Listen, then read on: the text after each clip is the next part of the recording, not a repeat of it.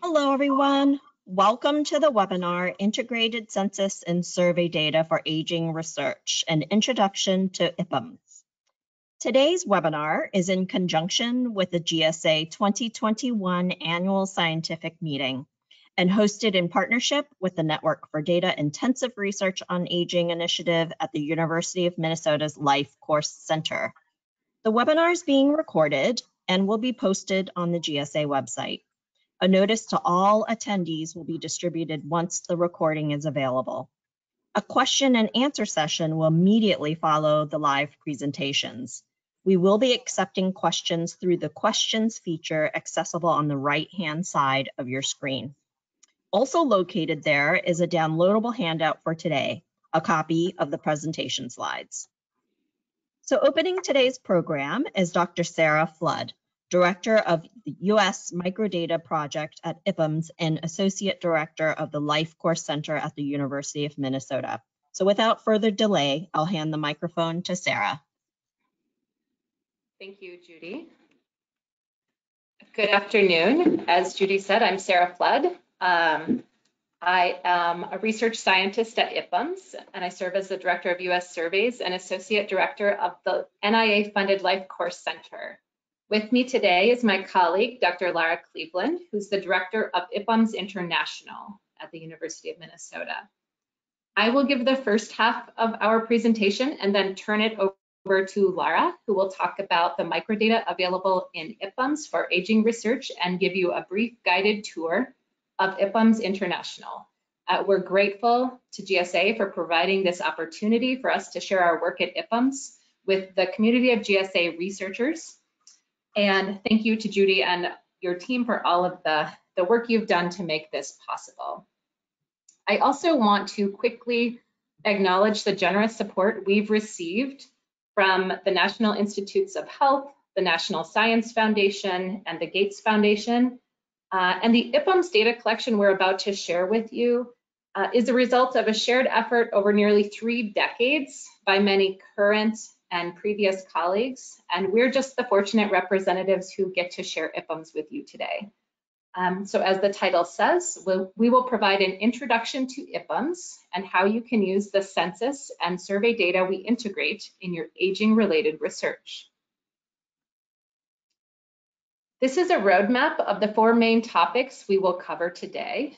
Uh, we will pause throughout the presentation for questions and leave time at the end. And as Judy said, please feel free to use the chat to ask questions. So let's start um, with an introduction to the network on for data intensive research on aging. The NIA funded Life Course Center at the University of Minnesota and IPUMS are co-located uh, this presentation represents a collaborative effort between the Life Course Center and IPUMS. And one of our major initiatives at the Life Course Center is to leverage our close ties with IPUMS to launch a network for data intensive research on aging, what we call NDIRA. Through NDIRA, we seek to increase research on aging uh, using IPUMS data we have a two-pronged approach to reach researchers who study aging who might not know about IPUMS um, or be using IPUMS and also users to think about taking a life course approach in their work or incorporating an aging lens in their work. Our focus today is really on the first of those um, two approaches. So we're going to talk about data, and these are the three sets of data resources that Life Course Center members are developing at IPUMS. Integrated microdata from IPUMS is the focus of this webinar. IPUMS started uh, disseminating census data um, back in the 90s, but over time, our collection has grown dramatically, as you can see from the figure on the right. Our collection now includes um, US Census data, international census data, and several US and international survey data sets, which we'll talk more about. Um, Today, the collection includes nearly 3 billion person records. Um, and since these are population level, there are lots of observations on older adults.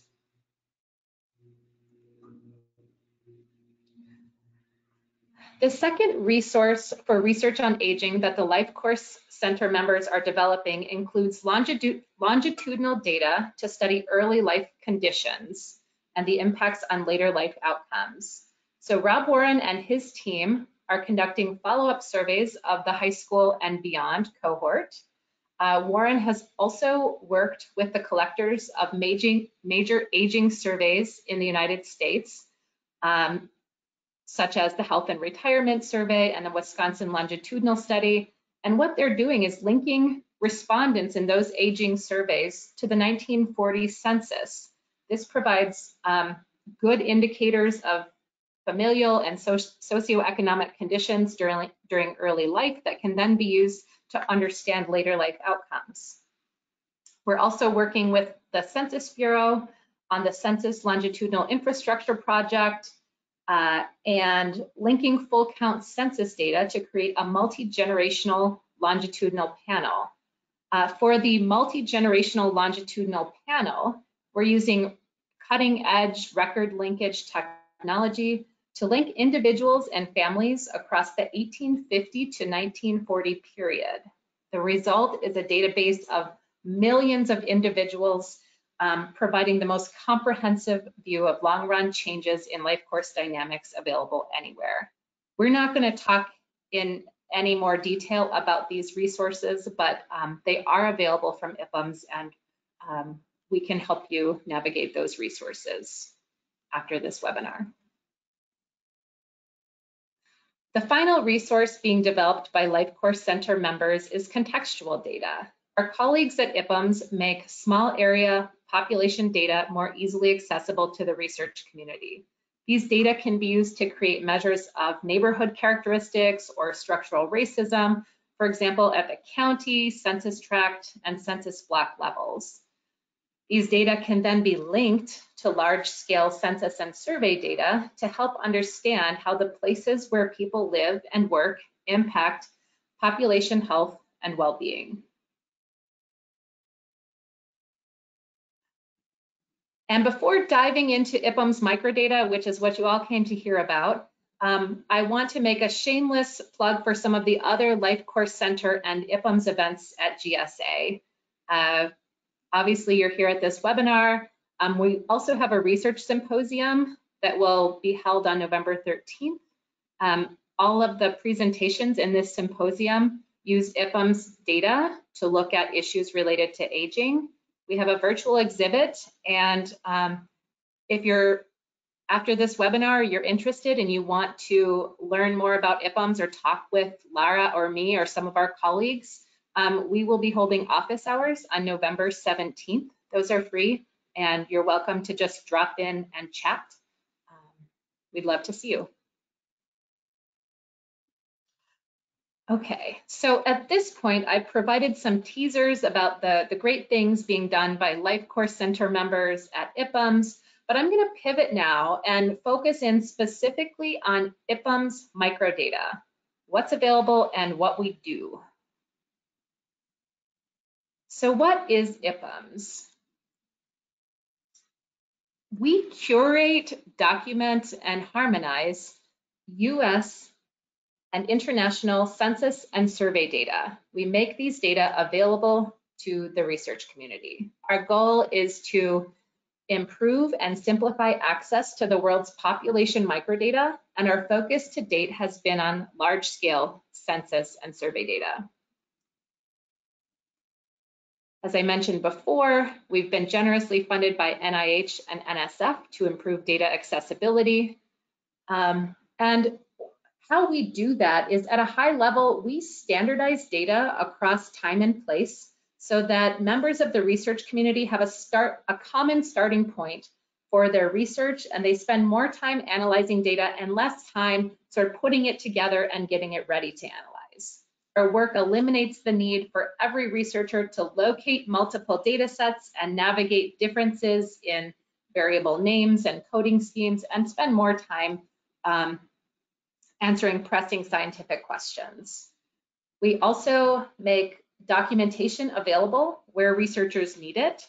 Um, so we provide documentation at the variable level, for example. And this is so that researchers using census data from multiple countries can quickly know what issues they might encounter making comparisons across countries. Um, you need that information at the variable level, not scattered across um, data sets in separate PDFs. All of the data that, that we work with are um, available to the research community free of charge. And we do a lot of the behind the scenes work, as I, as I alluded to before. So let's talk now about what you need to do to use IPUMS. To use IPUMS, you, you need to register uh, and you can do this by visiting ipums.org. And ipums.org is the, the main website where the main portal where you can access all of our different data collections. And this is where we make all of our standardized data and documentation available to the research community.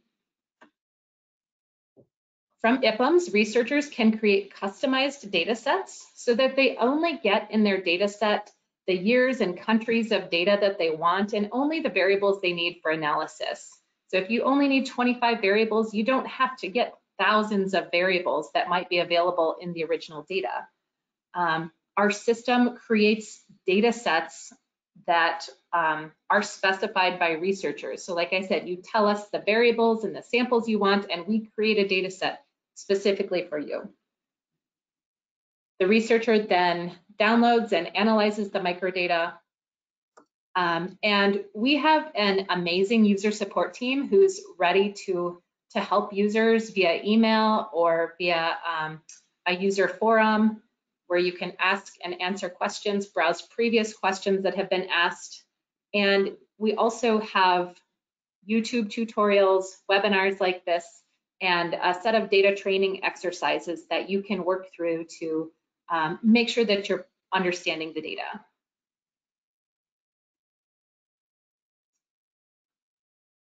So note that thus far I haven't um, talked about actually collecting data. That's because this isn't something we do. We um, repackage publicly available microdata and make it easier to use, um, and we harmonize it across time and place. That said, we do hold some data that are not available anywhere else, including um, several census data sets from IPUMS International that we've uh, worked to recover and um, digitize. And uh, there are also um, full count US Census data sets that we digitized in collaboration with Ancestry.com and the Church of Latter-day Saints. So we're not collecting data, we're making it easier for you to use. So back to what we do. We do harmonization and data delivery. So what is harmonization? Harmonization is the process of creating a single consistent data series uh, from data sets collected at different times and different places. Harmonization is applying a coding scheme to um, group broadly comparable categories uh, across data sets, but retain detail when it's available. And documenting these decisions and flagging comparability issues. So we try to tell researchers everything we know about the data we're making available. We want you to know um, things that you should be aware of when you're using the data. And so we do that through documentation. And I want to give you a concrete example here of, of harmonization. So I will, um, this is a simple example of harmonizing marital status in the National Health Interview Survey. So on the left-hand side, what I'm showing you are the seven um, response categories to the question in the National Health Interview Survey about whether, um, about your marital status. This is in the pre-2004 period. You can see that there were seven marital statuses. Um, and the first three married um, are, are variants on married with different um, details about whether the spouse is present or not. In 2004 forward, there was a change. Um, so you can see that in the 2004 forward period on the right-hand side, there are five marital status categories. The detail about um, being married on the left is no longer present in the 2004 period. And so what we do during the harmonization process is essentially bridge these changes in variable um, coding schemes and make them consistent across time. We do this using um, custom software. This all happens kind of behind the scenes.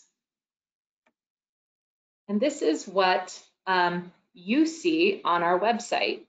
So you see harmonized marital status codes in the data that you receive from IPUMS. So what we've done is bridged those changes in the um, 2003 and 2004 period um, and preserved the detail that was um, available in the source data, but we ordered the categories so that um, similar categories are next to one another in the variable coding scheme.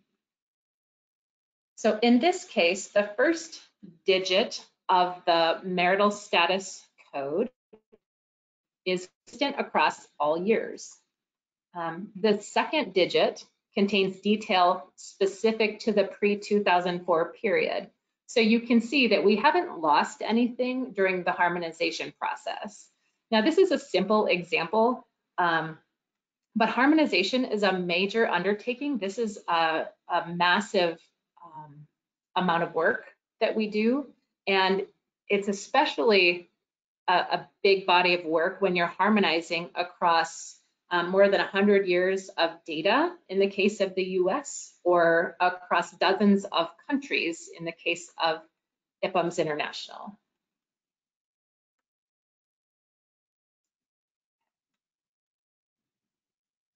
Uh, and so this is just another view of uh, sort of how we line things up internally.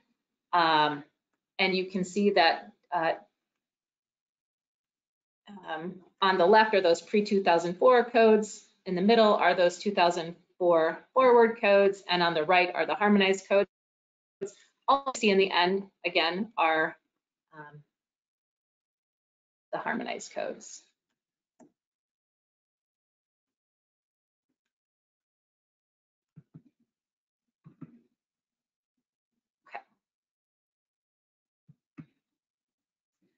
And I am going to pause here and uh, pass the baton to my colleague, Lara. Thank you, Sarah.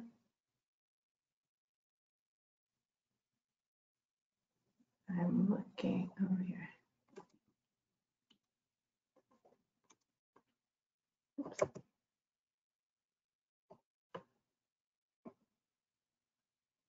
Am I?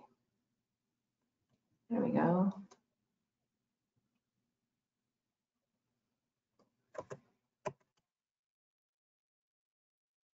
Okay.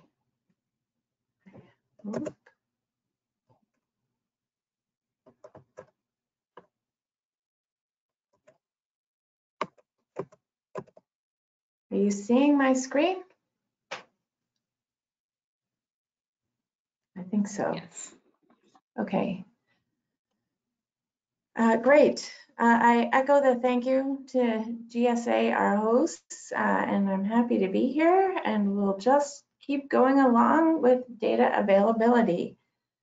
Uh, I think Sarah has, has already mentioned the types of data that we have, but we'll dig in in just a little bit more detail and provide some information about topics to kind of get your research juices flowing, I guess, about what you might be able to do with these data. Um, so this slide uh, details of availability of some of the features of the various data sets. Um, USA and the National uh, Health Geographic Data, NHGIS, which is shown with the green icon over here, provide decennial census and American Community Survey data. USA is microdata, and you see NHGIS is aggregate data.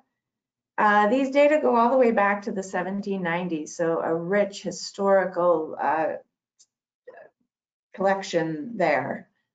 The CPS, uh, Current Population Survey, is US labor force survey that's fielded monthly and includes assorted topical supplements, a rich array of topics in that data set. And we started by uh, working with just one month out of the year to make sure that people had data that's used to measure employment. But over the years, we've added all of the monthly data to that collection. International, IPUMS International, the next one, uh, it has high density census microdata files sampled at the household level as are most of our microdata collections so that all of the individuals residing in the household are present, uh, which makes all of the microdata samples, household samples, a really great source to look at family living arrangements, family structure, interrelationships that impact people's lives over the or over their life course. Time use has US and international time diary data. So these are complex data where people report what they were doing in a 24 hour reference period. Uh, sample design is complex. The website for time use is just a little bit more complex accordingly, uh, but I'll talk just a little bit about that when we get to the web demo. Health surveys, so that's, uh, there's on the end here, health surveys, MEPS and NHIS, second to the last icon there, includes information on health behaviors, health status, healthcare access and utilization, and healthcare expenditures from the National Health Interview Survey and MEPS. Global Health, listed here with the PMA and DHS uh, abbreviations underneath them, is maternal and child health and fertility planning data from developing countries, uh, coming from the demographic and health surveys and the Gates PMA surveys. In the coming year, we will also be adding UNICEF's MICS surveys, uh, similar types of information from another source. And then the higher ed disseminates data on bachelor and doctoral degree recipients with a focus on the STEM workforce in the US. And you'll see in the bottom row here, I wanted to point out that almost all of these data sets have information about all ages. Most of them are microdata so you, and have individual age information. Uh, so there's a lot of flexibility there to examine uh, people at different ages because we have both the census, high density, kind of you can get to, you know, small older populations with the census and maybe use that um, to help boost the power of your detailed survey data that might not have the high case counts needed to, to make some inferences or do some research, um, follow up on some research questions. Uh, so really kind of a collection that can be used uh, together or uh, as individual data sets. The uh, health data there, PMA and DHS, although they are primarily focused on women of childbearing age, uh, do have some information about household members uh, and, and so are also maybe uh, can be extended for research beyond what you might first imagine. Just another way to slice these projects, I think Sarah has also made it clear that this includes a range of different types of surveys, as well as census data, uh, high density census samples, full count historical data in some cases, and low level aggregate data, both from the US and internationally. One more view of these projects, and again, I'm going to go through the next couple slides fairly quickly, but just giving you a taste of some of the types of issues and topics that can be studied using the data available here. If we were in person, these images come from a nice little handout that I think summarizes and, and gets you a quick start to figuring out which IPUMS project might be most useful for your research. So marriage, living situations, uh, some mental health, and certainly physical limitation information. Uh, education and employment available in a lot of these data sets. Volunteering, another slice on thinking about topics. Uh, include exploring caregiving. There's information, uh, maybe particularly in the health surveys, but also in some of the other data sets about caregiving activities, uh, family co-residence available in any of these household level surveys uh, and censuses. Information to study relationships, also because of that household structure of the samples. Um, I'll talk a little bit when we look at the website about some enhancements we make to the data of providing uh, variables that point to other members in the household so that you can attach information about one spouse to another or about a parent to children um, or head of household to other members residing in the same house. Also good for researching health, primarily from those health surveys, uh, but there is information about disability, uh, injury, mortality on some of the other uh, data sets as well. And all of these have been and can be used to analyze policy outcomes. Uh, many people have used the data bringing multiple sources together uh, using a lot of population level information from these surveys and censuses and bringing those together with outside health information, environment information, uh, work information. Uh, so hopefully uh, we're, we're ticking some boxes and, and making you think about what you might be able to do with these data. One more set of examples, uh, just a few bits of work uh, that have relied on IPUMS data sources. United Nations Population Division draws heavily on IPUMS International for a lot of their work. Uh, here we're showing an example of their World Population Aging Report. Uh, Allendorf used IPUMS DHS to study how increasing numbers of families with only daughters due to low fertil lowered fertility rates influences patriarchal living systems including how that influences mothers' expectations for older age support from their children. That's the top article. Uh, and then on the bottom here, uh, Drew and Chu used harmonized uh, NHIS data, that's IPUMS health surveys, to examine trends in injuries among older Americans. Few different slices on the kinds of research that can be done using the data in IPUMS.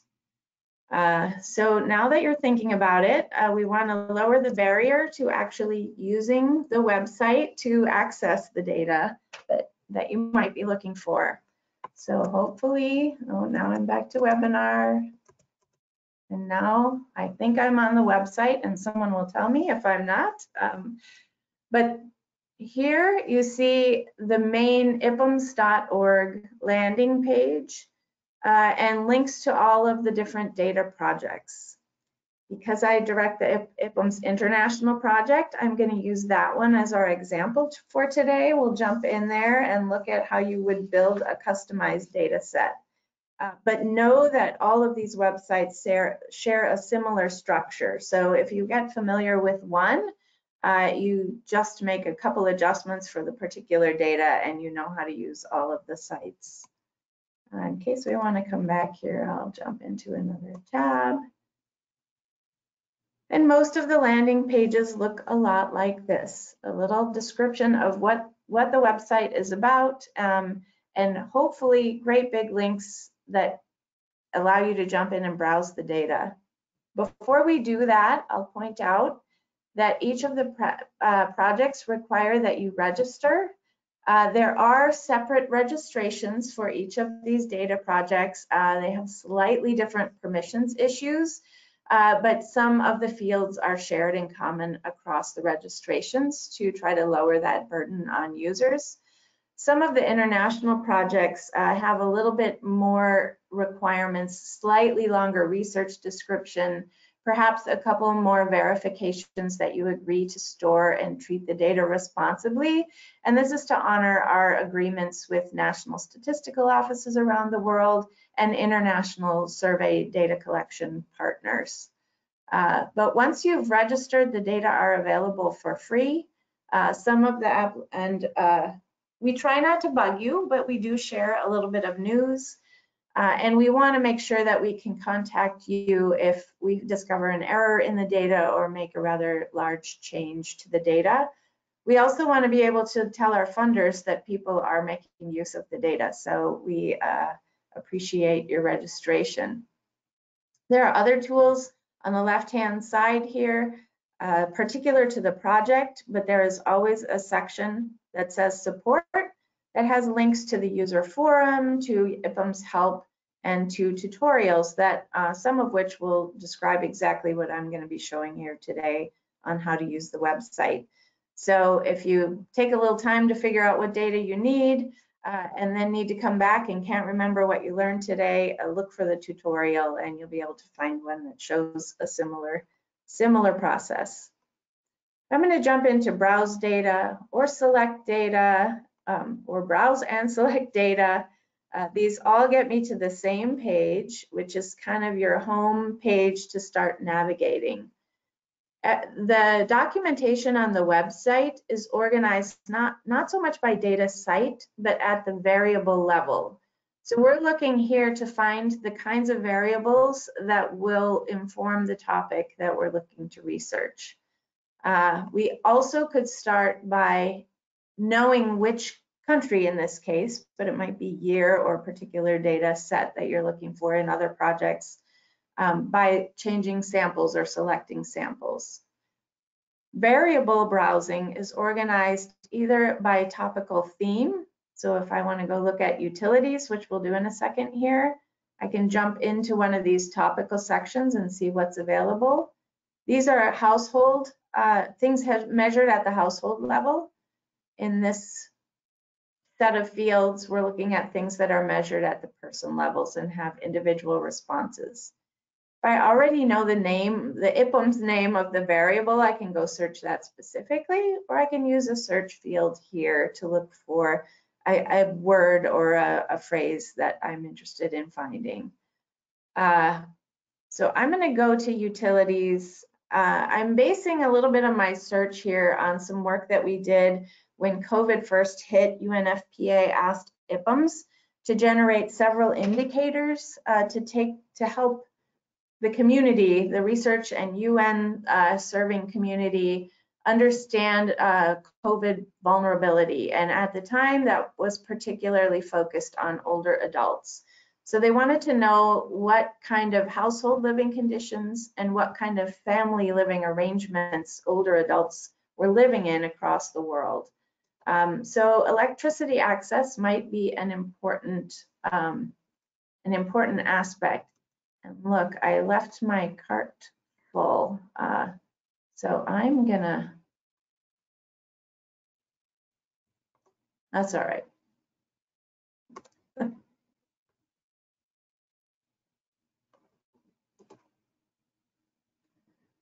So I've already established here that I want this electricity variable just by checking this box.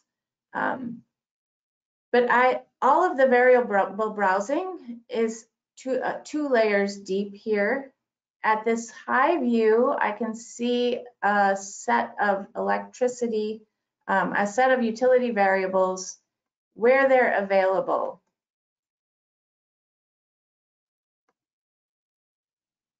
If I had come, I'm going to go select samples and selected all of the census samples, this would have been our default view when I'm first arriving on the page.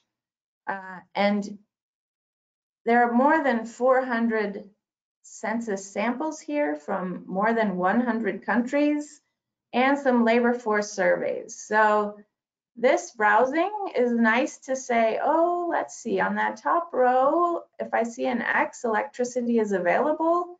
It's pretty widely available, not available everywhere. Um, but this is just to provide sort of an overview of where the variable is available. If I jump into the variable specifically, I have all kinds of information. So here I'm seeing categories. I'm seeing whether or not that category appears in a particular sample. So the columns are the census samples. Decennial census is here from Argentina 1980, 91, 2001. I can look at a case count view for these responses. Here I'm seeing unweighted household totals because this is a household variable. Um, and this is just to get you a feel for the sample size, not the representative weights. You want to get the microdata to do your analysis in that way. Uh, I can view a description, brief description in the next tab of this variable, indicating whether the household has access to electricity. And we don't just recode these variables. As Sarah said, we write documentation about what we find as we're harmonizing the variables. Um, there, I could jump down to any one of these and see all kinds of documentation about specific issues, not many, with respect to electricity. But if I look at the general statement, I learned that electricity is generally comparable. In many samples, it's inferred from a question on the source of lighting.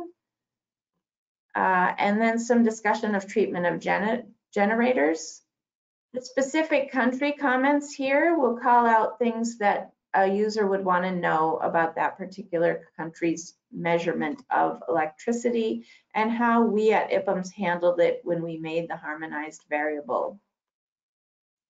Universe tab tells you who was asked the question. That's important for things like uh, employment status. You know, at what age did they start measuring or asking people about employment status? And do you need to do any work to align those categories? Uh, another thing that's really useful is access to the questionnaire text. So just to make our browsing a little bit more manageable, I'm going to filter this down to a few samples rather than looking at all of them.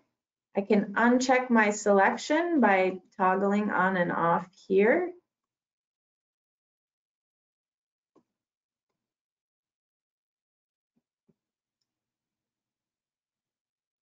And I'm just going to take some recent data from these B countries in the 2010 era.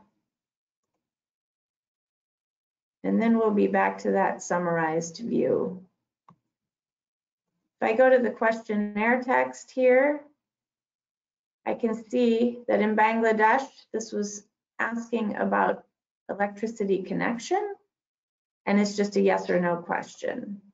In Benin, it's more like what most countries do. What's your source of lighting? And if there were electric responses here, we coded this as a yes to electricity.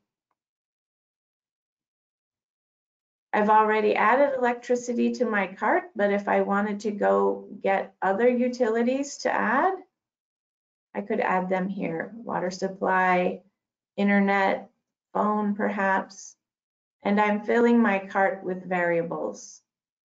Once I filtered those samples, I'm kind of starting to make a custom request that includes five samples, uh, the ones listed here. If I want other countries, this will change as I go. Uh, one thing that's helpful, that was helpful in this uh, indicator work we did was knowing the number of persons in the household. So we could look at whether older adults were living alone or with their other family members. Uh, other aspects of the data that really help uh, utilize that family interrelationship information are constructed variables that we create um, that just write the number of the record of the spouse uh, to anyone living in the household with the spouse or the mother and father. So for children, um, this could be adult children or uh, younger children. If their parent is living in the household with them, their record will have the, the record number of that parent, mother or father. Um, likewise with spouses. It was important for this research we did to have information about relationship, definitely about age at the single year information level, sex, marital status. Uh, we wanted to know about education levels and employment status. Uh, and we wanted to do all of that uh, summarizing information at the lowest common geographic level across all of these data sets.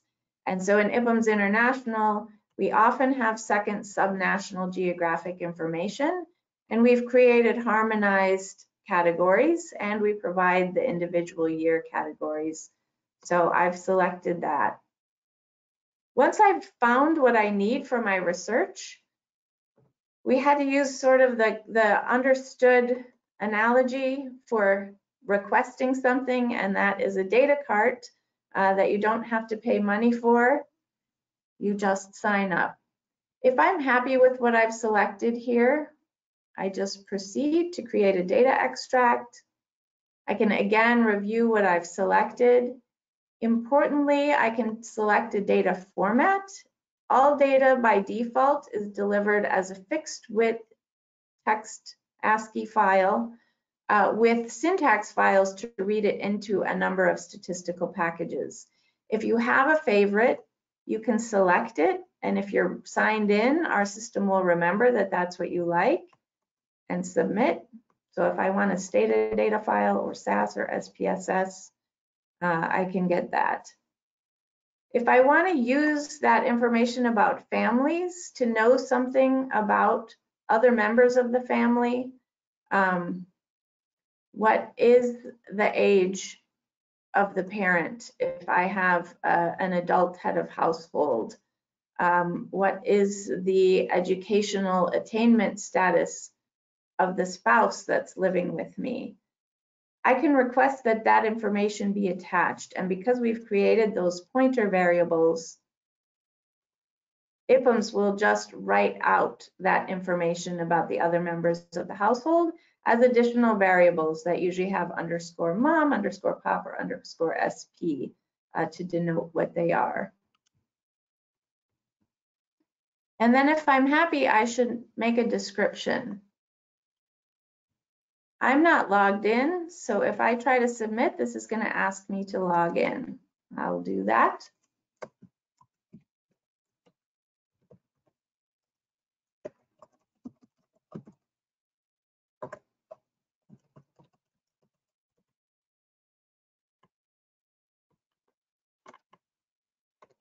And then it's useful to write a description. That one's not very detailed, but I'll show you why in a minute. I submit my request for the extract, and now that I'm logged in, I go to my personal request history page. Uh, so the data from the other day when I practiced this demo are available now. It just took a little while for them to load. The request I just made is processing. Uh, it's going to be formatted in for as a Stata file, um, but the code book for this extract I just requested is already here. Um, if I decide I've left out some variables or I want to do the same analysis on some new countries, I can come back to this, hit revise, and go get those things without building this entire request all over again. Uh, so my data will probably be available before we finish uh, this webinar today. Uh, and I would be able to come back here and download it. I would receive an email to my registration email address letting me know when it's ready. We'll jump back to home while those data are being compiled um, and take a look at the user forum, video tutorials, uh, each project has one of these and they usually will let you know if you wanted to learn again how to create an account or create a data extract, what we've just learned. Those are available. The main link here is in English and because we're an international project, we have that information in a few other languages. Um, there's also a lot of information at ipums.org or on each country's website there's links to the bibliography. You can search and see if other people have used IPUMS doing something that uh, is similar or in the in the area that you're thinking about. uh, and again, get a little bit of literature background there or ideas about what, what direction you might want to take for your research. Uh, finally, each of the data sections, uh, where we have been able to add the data to the online tabulator, it is possible to do quite a bit of analysis online. Uh, we, it's a little bit more limited in terms of which countries or which data sets you can pool together. Uh, but there's, it's very easy to get some fast tabulations on that online tabulator, uh, which is often where I'll go to see, once I know, yep, it looks like it's available, then I'll go to the tabulator and do a few cross tabs and say, can I, can I really get where I think I want to go with these data before I go ahead and construct that uh, extract. So that's another useful tool, and there are tutorials about using that online tabulation system. I think I will stop there. Um, I think that's still leaving us a good 15 minutes for questions.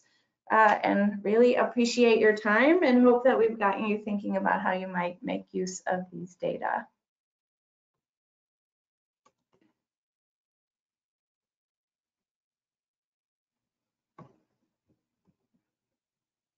I see a question in the chat about um, how does one translate the geographic areas into counties or something that is understandable to most people? Um, I believe last time I downloaded IPUMS data from the ACS, it only had FIPS code. So I will uh, take a, a, crack at this one um, since I'm more familiar with the US data. So geography is, um, it's a good question. The level of geographic detail available varies um, quite a bit across data collections.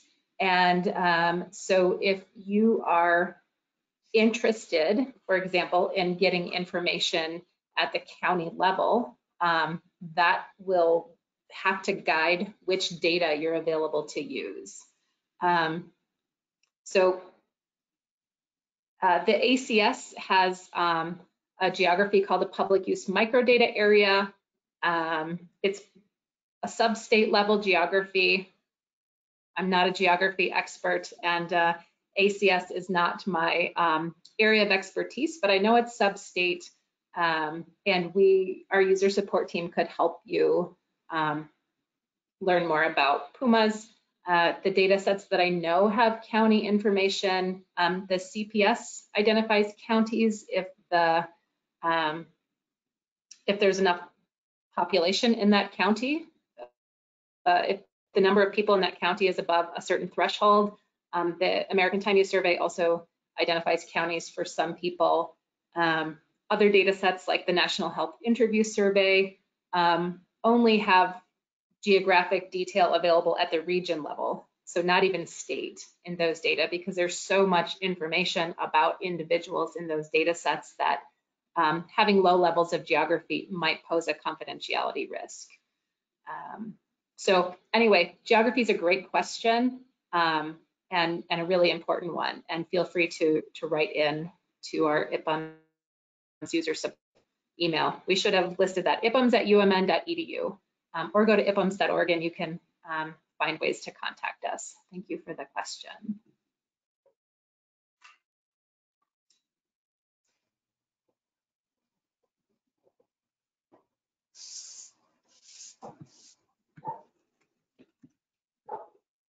There's another question um, about whether it's really possible to harmonize everything to the extent that that you want or eh, so you know the marital status example uh, is, is kind of a neat one where clearly there are three categories of married and they they fit together but sometimes you have different um, the question just says some things might not be able to be harmonized. How do you handle that? Um, so I think we maybe both could take a little bit of a stab at this, but uh, I have to answer this question quite a bit when I'm out with some of the international folks um, who have seen things measured quite differently because uh, of very specific national circumstances. Um, and my two responses are usually Uh, one, this happens more on international than probably with USA, where some surveys are fairly consistent. Um, but that is the reason for the detailed uh, trailing codes, the composite coding structure that we use, uh, where in international, we often have to really find the lowest common denominator and make a general version. And then we have to make available a detailed version where we can roughly put those things into categories and use the trailing digits to allow us to um, harmonize them. It's also the reason we provide all the comparability text and the access to the questionnaires so that people can trace if they were really looking for a very specific thing, they're able to um, go disentangle whether they think we put something in the right place or not. Uh, so I think um, sometimes we undersell our documentation and it's really rich and we're really hoping that people use it. Um, so it's there on the website. Please take a look. It can write half of your students' papers for them sometimes, I think.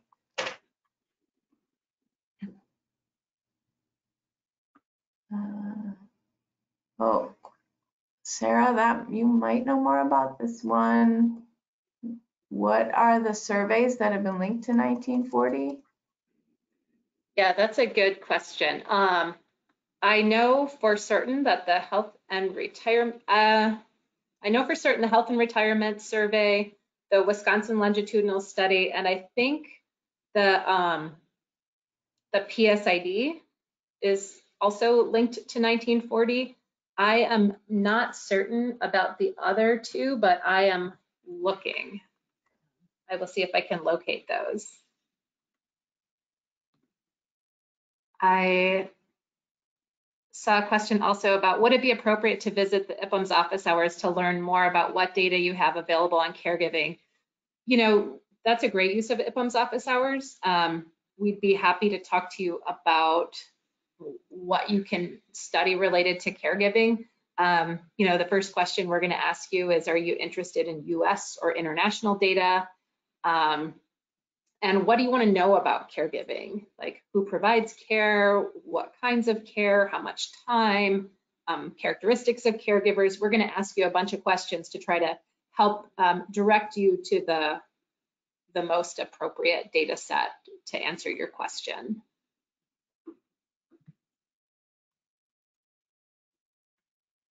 And our involvement in some of these more bridging topics like aging or life course, um, that and just because it's a good idea has led us to, to do some development on cross IPUMS project search capabilities. So those haven't been rolled out yet, but I think we're getting close. So maybe by the next time we do this webinar here, uh, we'll have a few more automated tools for that kind of searching as well.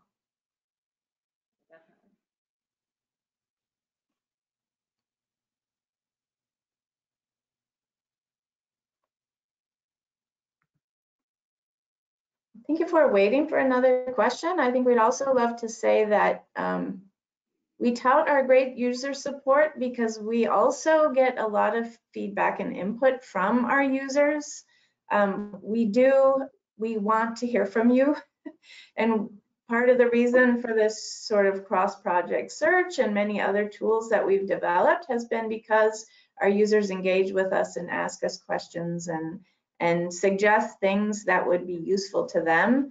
Um, so as you start looking around, if this has interested you and you do have questions about that or suggestions for how the website is or isn't serving you, uh, we, we really love to, to hear from you. This is a, a living project and we're always trying to build tools uh, that make it easier for researchers to do their research. So that's what we're here for.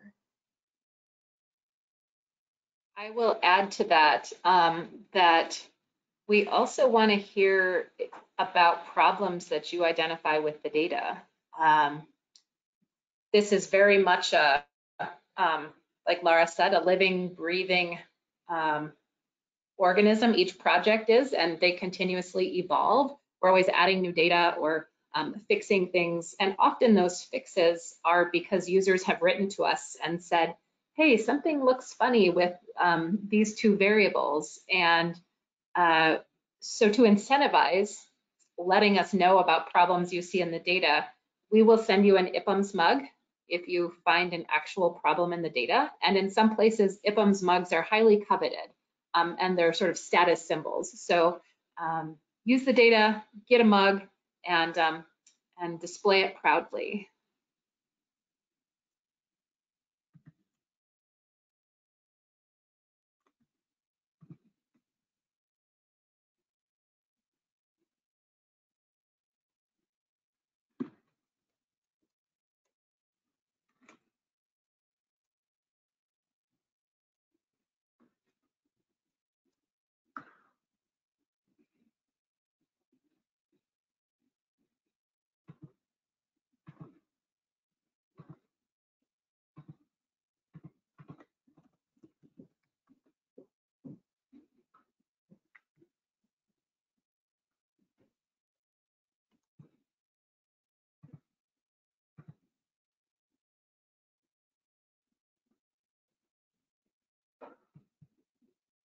Great. Well, I just want to take a moment to um, thank Sarah and Lara for the program today.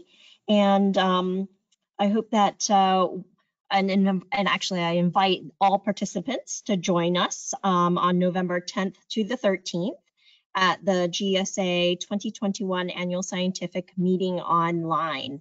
Uh, the meeting will be hosted on a state-of-the-art platform that'll offer um, a, an engaging immersive experience um, allowing you to focus on essential research and networking. So hope to see you all there. And again, a big thank you to uh, our panel and our participants. Uh, really appreciate you all for participating. This is the end of the program.